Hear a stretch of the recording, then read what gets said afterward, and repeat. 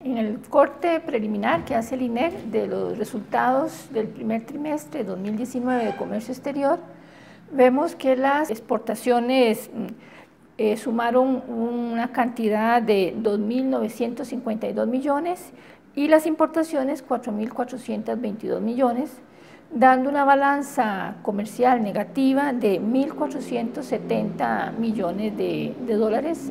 Entre los primeros productos de importación tenemos, siempre están los combustibles, pero también vemos la importación de celulares. En los productos de, de exportación van cobrando importancia todos aquellos que son derivados de la industria médica. Sin embargo, piña y banano ocupan, eh, están todavía ahí en los primeros cinco lugares, tal vez no con la relevancia de otros cortes ¿verdad? que hemos tenido en el pasado, pero son importantes. Más información, mejores decisiones país.